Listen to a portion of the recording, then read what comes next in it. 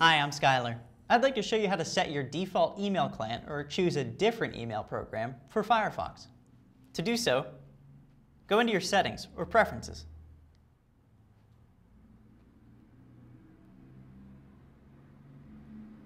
Then go to Applications. Look for this one, Mail to. If you've got a whole bunch of stuff here, you can also search for Mail to. Click this drop-down menu. You'll see all of the available email clients. So for example, if you have Microsoft Outlook or Thunderbird installed on your computer, you'll see it here. Then select the client you want to use and close the window. You've just set the default mail client for Firefox. I'm Skylar. Thanks for watching.